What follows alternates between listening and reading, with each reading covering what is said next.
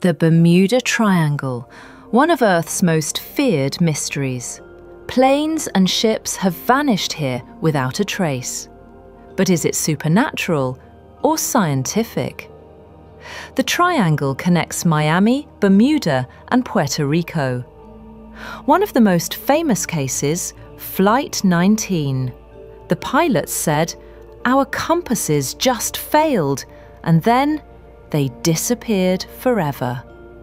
People believed it was aliens, portals, or ancient forces. But scientists reveal a different truth. First cause sudden violent storms. Second, the powerful Gulf Stream current. It pushes wreckage far from the accident site. Third, magnetic anomalies confuse navigation and methane gas bubbles can even sink ships. These natural forces explain almost every disappearance.